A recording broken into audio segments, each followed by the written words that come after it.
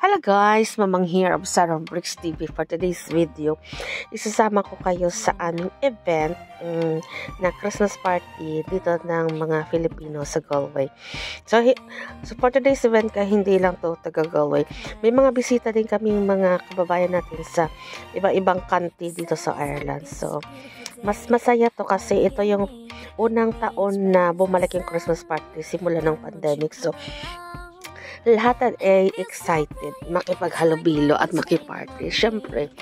So, while nagaantay kami ng iba, ayan, yung iba, chika-chika mo na catching up. May, may bar din pala ito sa loob, guys, yung aming venue. So, ayan, maaga pa. Nagaantay kami ng mga kasama namin kasi 6 o'clock pa naman ang aming event. So, ayan. Eh, Siyempre, yung mga bata din nagka-catching up. So, ayan. Wala pa talagang tao. Kami-kami pa lang. Makikita nyo mamaya.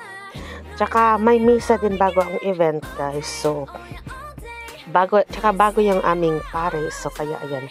So, ito, makinig muna tayo sa misa guys. Hi! Please celebrate Simbang Day. So for your community, you have uh, at least one evening to celebrate uh, the Simbang Gabi as we prepare ourselves for the birthday of our Savior. I think what is important Ayan, pagkatapos ng mass guys, medyo ano, nag-fill up na yung room namin. Medyo napuno-punuan na kami, pero marami pa rin wala.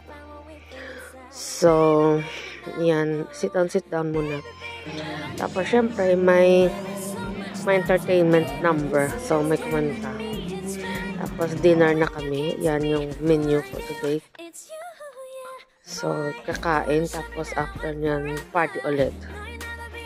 So, ayan, nag, ano na sila, kumuha na sila ng mga best dress sa kada table. So, kami kasama kami ni Ate Cha.